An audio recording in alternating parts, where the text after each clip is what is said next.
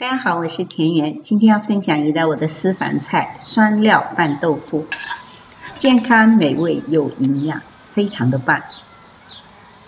做法很简单，我需要这种硬豆腐，也就我们中国人通常说的老豆腐，就是稍微硬一些就可以。那我只用了这一盒中的两百克。锅里烧水，在水里放盐，水烧开以后，放进豆腐。煮两到三分钟，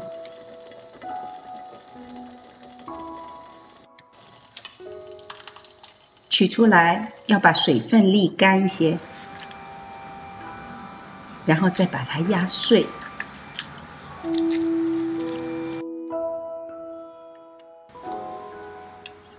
把豆腐碎码在盘子上。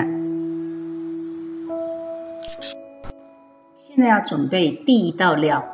就是酱汁，我这里用到了花生酱，你可以用芝麻酱代替，或者花生酱跟芝麻酱都用一些。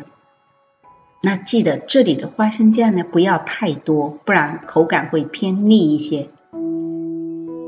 所有的比例我都写在这里，我用了一点辣椒粉。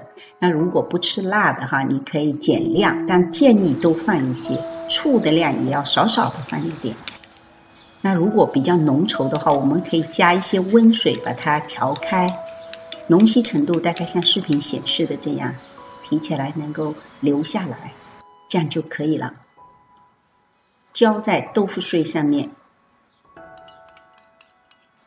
这个酱汁呢非常的香，你可以尝一下。现在准备第二道料。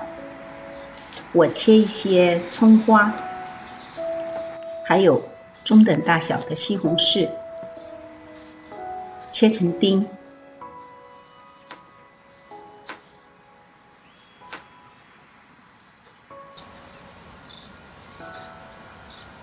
比例都在这里。炒锅放少量的油，先把葱炒香一下。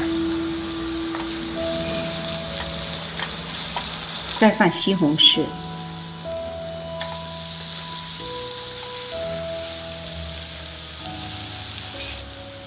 用盐和糖来调味。这个糖能够平衡西红柿的酸度，酸酸甜甜的，非常好。我稍微会多放一点点，把它炒软，我们的第二道料就做好了。这道料理豆腐经过盐水煮过以后，它富有弹性。保留豆腐原本的香味，加上中间这一道酱汁，立刻让豆腐的味道变得丰富起来。第二道的酱料呢，葱花炒西红柿，更是让豆腐变得清新爽口。层层叠叠三层不同的风味加在一起，非常的美妙，尤其适合夏天，开胃爽口，老少皆宜。如果你想减肥的话，吃它也很不错的。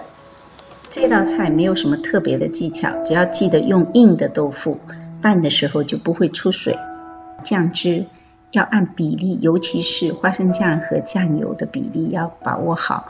另外呢，你可以增加自己喜欢的味道，比如说花椒粉啊、其他辣椒酱之类的。